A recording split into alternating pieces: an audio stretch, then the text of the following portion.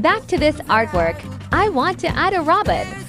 I printed some pics as reference and cut them to see the dimension I need. Then I draw some lines and start applying the main colors and shades. This is the third piece. Back to this artwork. I want to add a robin. I printed some pics as reference and cut them to see the dimension I need.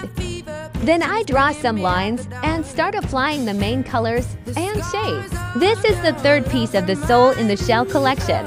That's why the robin's head is portrait as a skull. Adding some more colors and shade for the final part. We're all at the details. The bird is not done yet. This is today's progress.